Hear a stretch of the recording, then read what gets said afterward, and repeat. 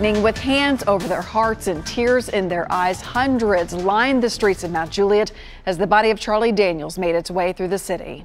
Yeah, the popular country and southern rock legend died this morning from a stroke at Summit Medical Center in Hermitage. News Channel 5's Jason Lamb was there today as people showed respect for the man who loved Mount Juliet and in return was loved by his neighbors.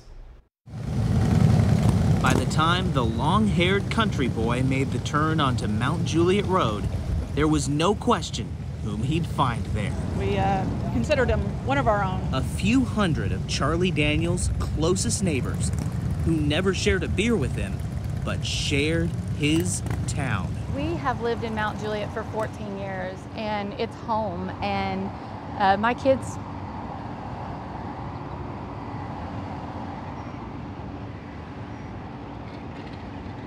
grew up going to Charlie Daniels Park.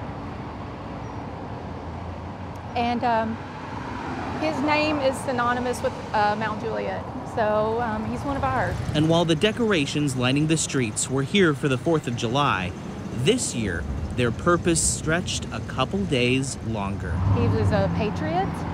He was um, a man of faith. His love of our country, his love of this city, the state. He was just, he was just an all-around great guy for the man who put his country first. His friends gave an honor befitting the American flag.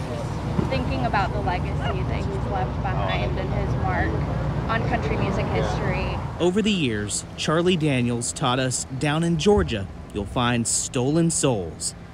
He left it for us to learn of the broken hearts you'll find in Mount Juliet, aching tonight for the best there's ever been. It just shows what the community thinks of him, you know? Jason Lamb, News Channel 5.